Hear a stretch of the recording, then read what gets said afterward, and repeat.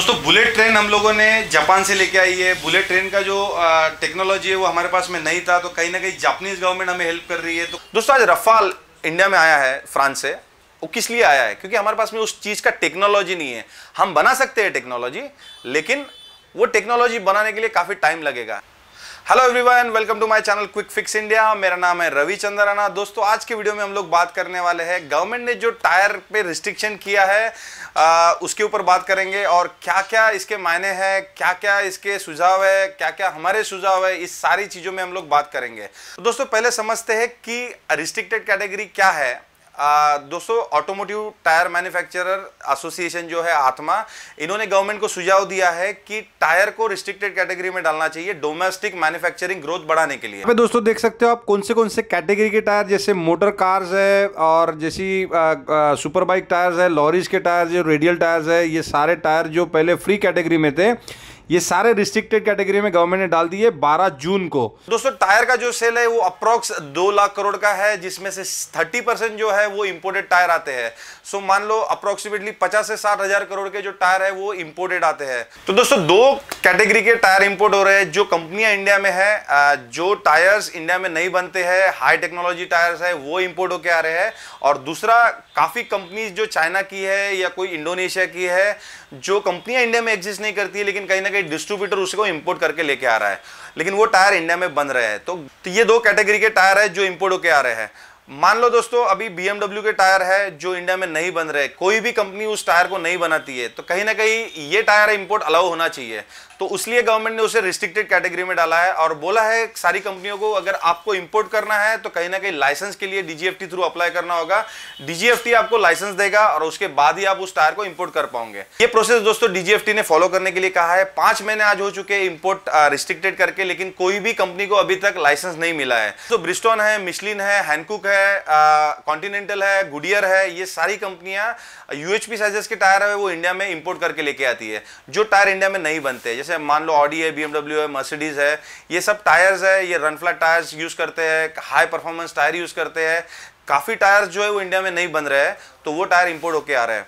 आज मान लो रोल्स रॉयस है। रोल्स रॉयस के टायर अगर इंडिया में बनाना है तो मार्केट इतना बड़ा नहीं है, क्योंकि वो साइजेस कम गाड़ियाँ बिकती है तो उस टायर को मैन्युफैक्चर करना काफ़ी दिक्कत होगा कोई भी मैन्युफैक्चरर के लिए। सो so, उन लोगों के लिए इजी है कि ये इंपोर्ट करके लेके आए। क्योंकि अगर कोई भी चीज़ को मैन्युफैक्चर करना है तो उसका एक प्रोसेस रहता है जिसे फॉलो करना होता है और वो प्रोसेस का टाइम कंज्यूमिंग प्रोसेस है और प्लस उसका कॉस्ट भी ज़्यादा है। तो आत्मनिर्भर भारत ये हमारे प्राइम मिनिस्टर नरेंद्र मोदी जी का एक सपना है और ये हर देशवासियों का सपना है। हमें चाहिए कि हर टायर हमें मेड इन इंडिया मिले लेकिन इस चीज़ को टाइम लगने वाला है क्योंकि ओवरनाइट आप अगर बोलोगे कि रनफ्ला टायर बनाना चालू करो तो उस चीज़ का टेक्नोलॉजी हमारे पास नहीं है। तो कहीं ना कहीं आ, ये टायर्स जो है वो हमें इंपोर्ट करके ही लेके आने होंगे। तो जो सो सारी प्रीमियम कार है जैसे बीएमडब्ल्यू है मर्सिडीज है ऑडी है ये सारी इंपोर्ट होके आ रही है। कहीं ना कहीं इंडिया में असेंबल भी हो रही है।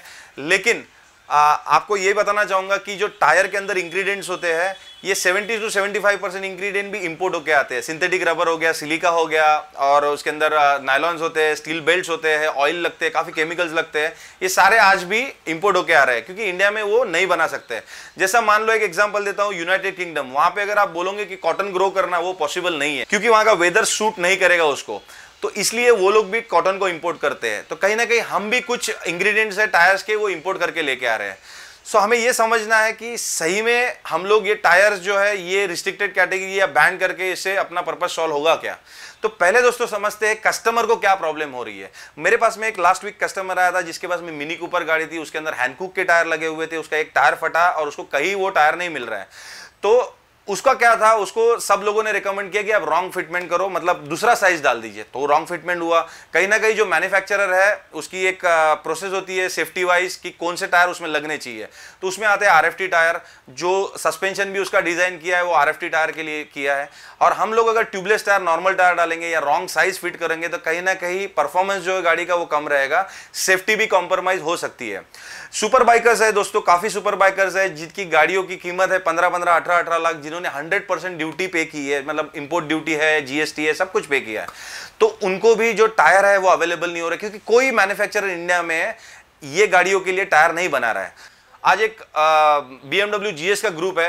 वो बी के जीएस के ग्रुप का एक ही क्वेश्चन था कि मेरे जीएस के लिए मैंने आज पच्चीस लाख रुपए की गाड़ी खरीदी है उसके लिए मुझे टायर चाहिए। आप मुझे बता दो कौन सी ब्रांड इस, इसके टायर बना रही है मैं डालने को रेडी हूँ। इनके पास आंसर ही नहीं रहेगा, क्योंकि कोई कंपनी टायर बना ही नहीं रही है इसका। तो ये जो है फ्रस्ट्रेशन जो राइडर्स के अंदर आएगा, जो बाइकर्स के अंदर आएगा या कस्टमर्स के अंदर आएगा तो ये नहीं होना चाहिए। एक चीज़ भी आपको बताना चाहूँगा, जो गवर्नमेंट और मैन्युफैक्चरर के एक लॉ होते हैं, मान लो जीएम मोटर्स इंडिया से बंद हो चुका है, लेकिन जीएम मोटर को 15 साल तक पार्ट सप्लाई करना ये मैंडेटरी है इंडिया में। अभी नई कंपनी जैसे किया आई है या कोई एम एक्टर आई है, मान लो ये कल कंपनी बंद करते हैं इंडिया में तो भी उनको पंद्रह साल तक पार्ट सप्लाई करना अनिवार्य है। तो ये क्यों है? क्योंकि ये गवर्नमेंट ने क्लॉज डाला है, अगर आप इंडिया में आ रहे हो तो। लेकिन आज BMW जैसे मर्सिडीज कोई नहीं खरीद रहा है, वो आज कहीं ना कहीं फियर है उसके मन में कि अगर मेरा टायर फटता है तो मुझे टायर मिलने वाला नहीं है।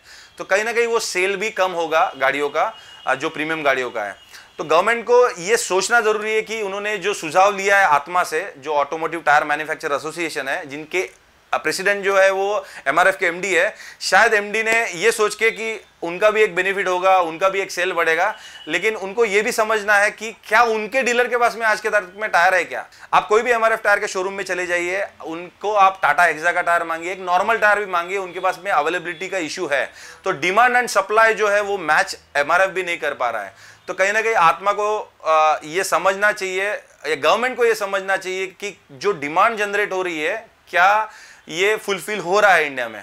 मिशलिन सबसे अफेक्टेड है इस चीज़ के अंदर कंपनी क्योंकि मिशलिन के जो कार के टायर्स है, ये सारे इंपोर्टेड है। मिशलिन का दोस्तों एक प्लांट है, जो ट्रक बस रेडियल का है, जो इंडिया में मैन्युफैक्चर करते हैं, लेकिन जो कार के टायर्स है और बाइक्स के रेडियल टायर्स है, ये इंपोर्ट करके लेके आते हैं। तो कहीं ना कहीं इनके पास में सब जो इन्वेंट्री है, ये खत्म हो चुकी है। इनके कम से कम डेढ़ हज़ार से दो हज़ार स्टाफ है जो अफेक्टेड हो चुके हैं। मान लो इनके पंद्रह सौ से दो हज़ार डीलर भी है, एक डीलरशिप में पाँच पाँच लोग काम करते तो ये सारे लोग कहीं ना कहीं अफेक्टेड हुए हैं। तो दोस्तों, ये साइकिल है जो रुक चुकी है।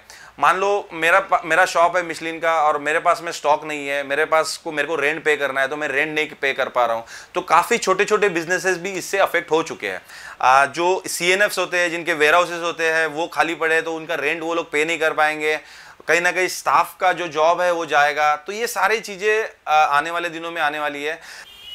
दोस्तों टेक्नोलॉजी के बारे में बात करेंगे। इंडिया में टायर मैन्युफैक्चरिंग की जो टेक्नोलॉजी है, ये आज भी एक लिमिटेड है, जो रन फ्लैट टायर्स वगैरह है, इनके लिए काफ़ी एक्सटेंसिव टेक्नोलॉजी लगती है, काफ़ी ज़्यादा रिसर्च लगता है, और कोई भी इंडियन कंपनी इस टायर को नहीं बना रही है।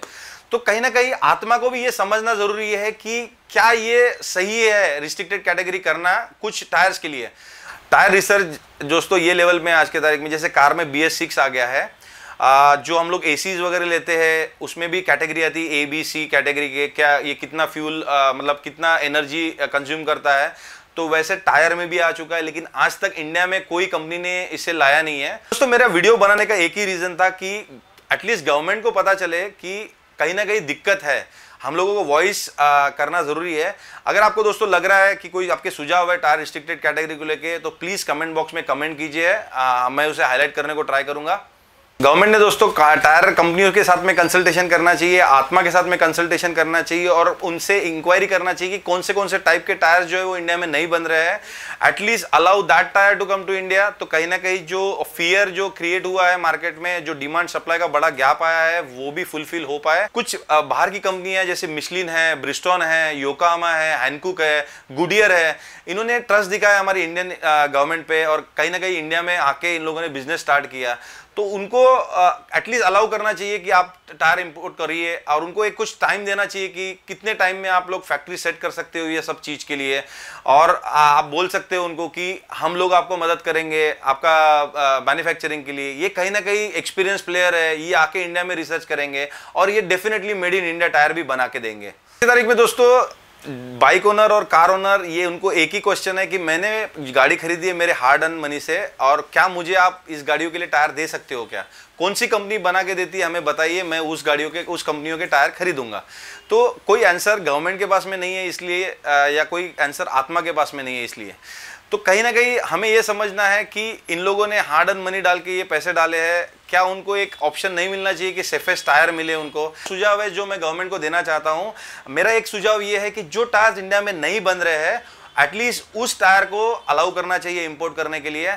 और जो जो कंपनियाँ इंडिया में एग्जिस्ट करती है, जिन्होंने एम्प्लॉयमेंट जनरेट किया है एटलीस्ट उस कंपनियों को टायर लाने के लिए अलाउ करना चाहिए। जो कंपनियाँ इंडिया में एग्जिस्ट नहीं करती, काफ़ी चाइनीज़ कंपनी है जो डिस्ट्रीब्यूटर टायर लेके आ रहा था, वैसे कंपनी को आप बैन कर सकते हो या उनको रिस्ट्रिक्टेड कैटेगरी में डाल सकते हो।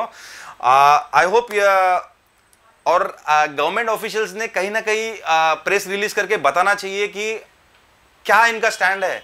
कभी ये लोग अलाउ करेंगे टायर इंपोर्ट ये एक जो फियर जो क्रिएट हुआ है टायर रिलेटेड मार्केट में, ये कहीं ना कहीं हटना चाहिए। जब गवर्नमेंट के ऑफिशियल्स इसके बारे में बात करेंगे तो ही इसमें पता चलेगा।